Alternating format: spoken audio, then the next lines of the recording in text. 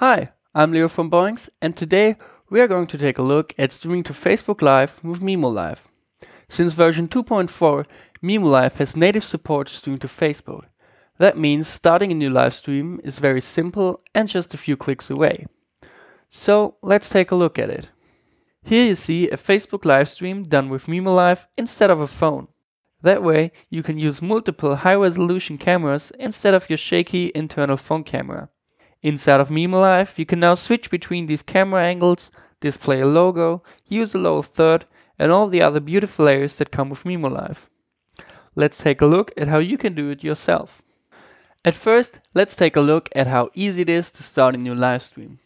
To do that, I've already created a simple test document and set up my Facebook account in the preferences. Let's head to the streaming settings and the streaming service, you can see Facebook is now an option. Next, you can choose where to stream to.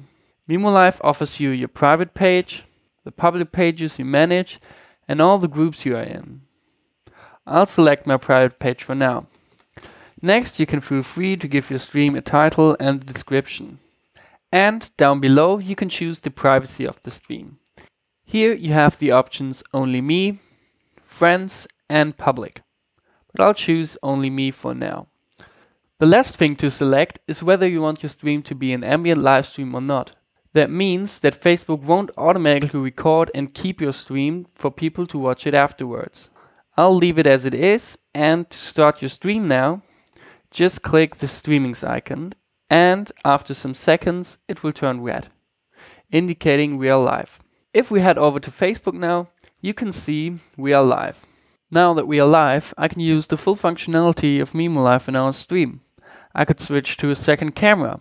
I could use chroma keying to get rid of the background and maybe add a different background. I could add some text maybe and the classics like a lower third or a logo. With all these you can make an amazing stream on Facebook. The last thing we have to look at is how to set your account up. So let's get back into mimoLive. Now Let's take a look at how to set up your Facebook account.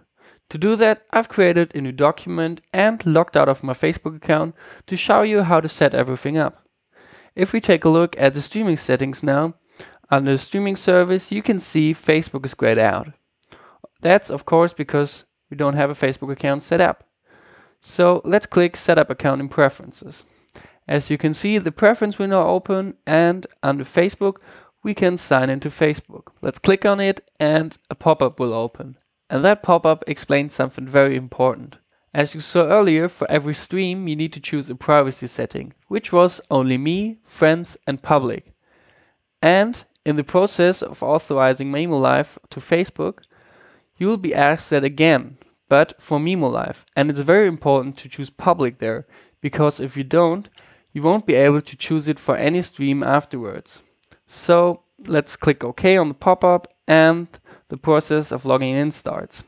Here you need to enter your email address and your password. Check keep me logged in and click login. At first, mimoLive will ask to access your public profile, your events and the groups you manage. That's because later mimoLive will offer you to stream to these places, so click OK. Next, mimoLive will ask to post for you. That's because every live stream technically is a post, and if mimoLive isn't allowed to post for you, it can't start as live stream. This is also the dialog where you need to choose public in this dropdown. Don't worry if you missed it. In your Facebook settings under apps, you can still change that afterwards. For now, click OK, and in the next dialog, mimoLive asks to access your pages and publish for them. That's because these are also places where mimoLive could stream to.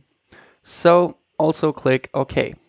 As you can see, you are now logged into Facebook and if we go back to the streaming settings, under streaming service, Facebook is now an option. That's all about Facebook live streaming for now. I hope you feel prepared, but if you still got questions, you can check out the manual, go to the help forums, or just leave a comment below. See you again in the next video.